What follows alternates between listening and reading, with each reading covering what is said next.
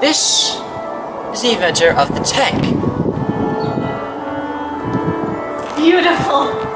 I have invented a war machine. The hippies will love me. Since it was a war machine that is capable of mass destruction, the hippies did not, in fact, love her. In fact, they hated her. This isn't. This isn't going to work.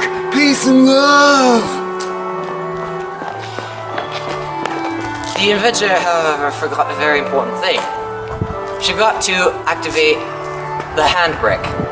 Thus, it rolled off of the driveway and destroyed 13 homes.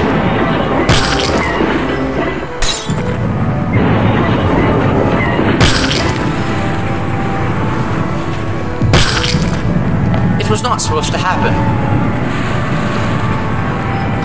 That's not what I. Actually, it was. Destruction.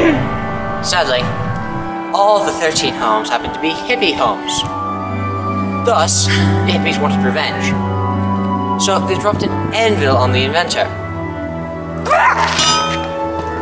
Mainly because an anvils are funny. The inventor died that day, and she shall never be remembered as the inventor of the tank.